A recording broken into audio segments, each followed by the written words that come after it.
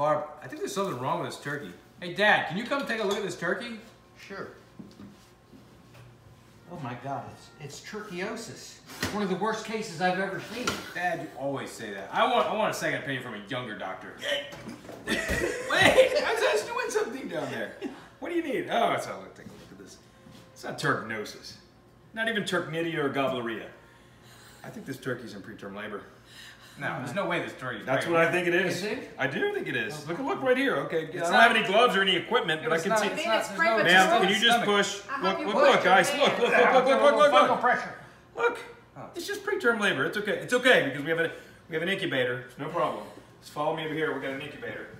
I put it in the incubator, and then here we go. And then look, it's ready. Finger looking good. Have a happy Thanksgiving.